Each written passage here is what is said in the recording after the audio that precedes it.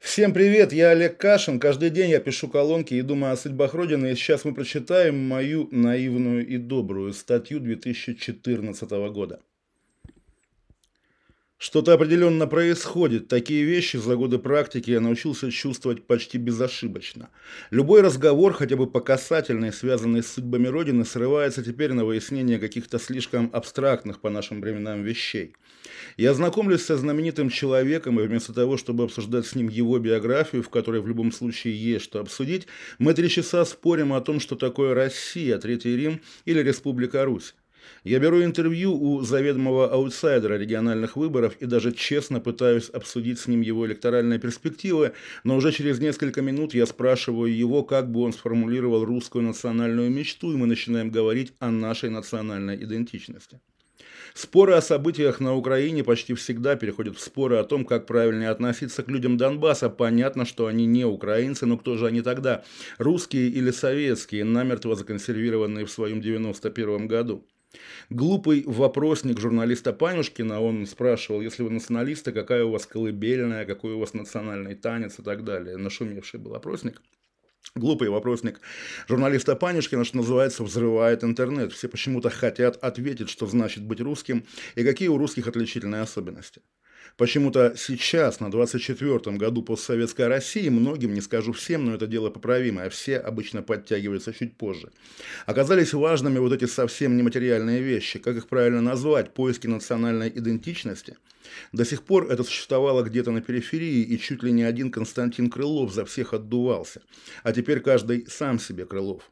Это вообще очень обнадеживающая тенденция. Как говорится, главное, чтобы люди начали думать, потому что до правды они обязательно додумаются. На наших глазах у русских заканчивается кризис национальной идентичности, и совсем скоро очень многие вещи, вызывающие сейчас ожесточенные споры, станут для всех очевидными, как в той знаменитой вырезке из словаря «Олень – животное, воробей – птица, Россия – наше отечество, смерть неизбежна». Не претендуя на какие-то масштабные выводы относительно русской идентичности, я, как было у одного моего предшественника, найти ключевое звено и, потянув за него, вытянуть всю цепочку, хотел бы выдвинуть версию только одной из составляющей нашей русскости. Я хочу поговорить о русском национальном напитке. Этот вопрос кажется наименее спорным из всех вопросов такого рода. По поводу русского национального напитка у всех давно сложился стереотип, что таковым может считаться, во-первых, водка и, во-вторых, квас. Но, как часто случается со стереотипами, обе версии не выдерживают никакой критики. Наверное, водку даже можно было бы всерьез считать русским национальным напитком, но только в том случае, если мы согласны с тем, что наша миссия в этом мире заведомо деструктивна и, и что мы не претендуем ни на что, кроме беззаветного саморазрушения.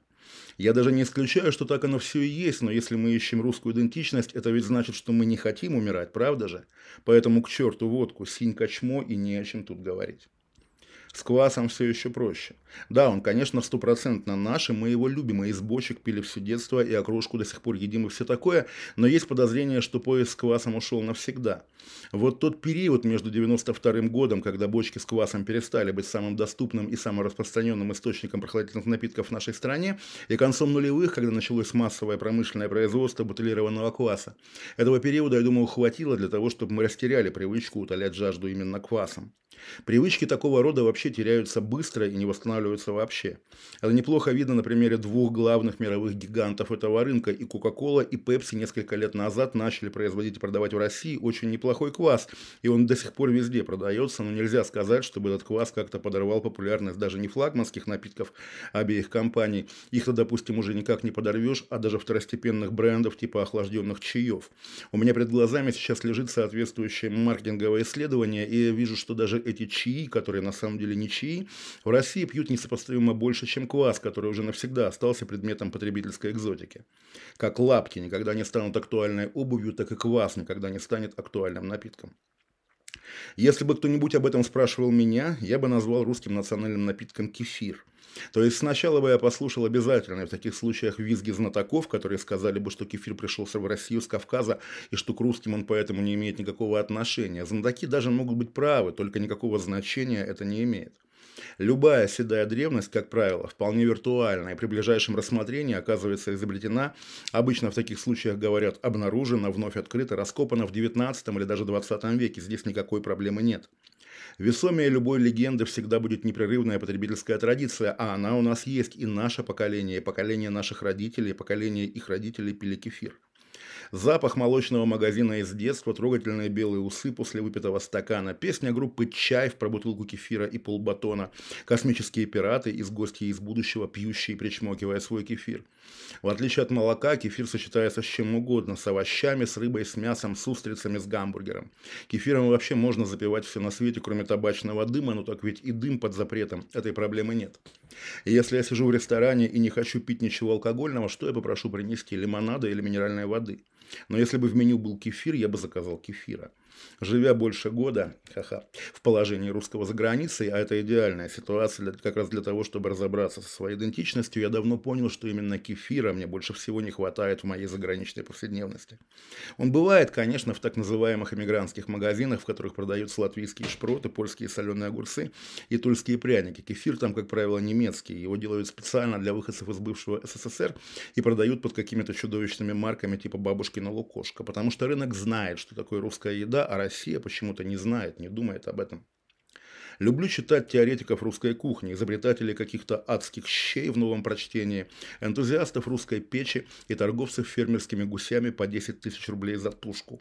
Сейчас таких людей уже много, и у каждого есть идея возрождения национальной кухни, срисованная, как правило, со скандинавских или еще каких-то образцов. На практике это всегда оборачивается тем, что такой теоретик открывает один ресторан, в пределах которого и существует эта выдуманная русская кухня, а потом в меню добавляется кальян и суши, ну и все, и до следующего раза. Это похоже на вечную историю про национальный поисковик. Чиновники при живом Яндексе годами говорили, что России нужен свой поисковик, просто не замечая, что русский поисковик и так давно существует безо всякого участия государственных инноваторов. Итак, что я предлагаю? В России есть сотни производителей молочной продукции, каждый из которых производит и кефир. В России также есть сколько-то тысяч кафе, ресторанов и прочих точек, вплоть до самых маргинальных забегаловок с шаурмой. Кефир должен появиться в русском общепите. Как только эту инициативу подхватит хотя бы десяток, хотя бы московских заведений, за ними последуют все остальные. Все просто. Русский бар – это тот, в котором наливают кефир.